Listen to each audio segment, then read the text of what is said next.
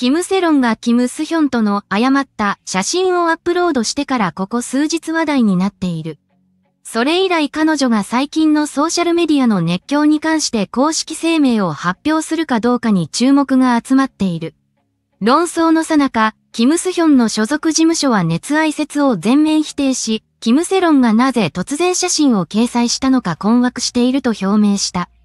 そして3月27日、キム・セロンはついに口を開き、この件については沈黙を守ると述べ、よく考えたが、公式の立場ではないのでコメントしない方がいいと思うと説明した。韓国のネチズンはキム・セロンの最近の反応に当惑しており、彼女が注目を集めるためにこのスタントをしたのではないかと推測している。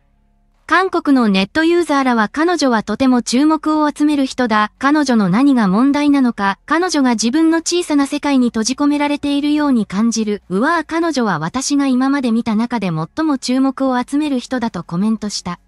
写真を投稿したのは彼女です。彼女は注目を望んでいるのだから、彼女に注目を集めるのはやめるべきだと思う。彼女が注目を集めるためにこんなことをしているのは明らかだ。どうして彼女はこんな風に成長してしまったんだろう。これはとても悲しいことだ。私はあまりに言葉が出ない。わら、彼女のイメージはここまで落ち込んでいるので、棺を墓に釘付けにしているので彼女はやめるべきだと思う。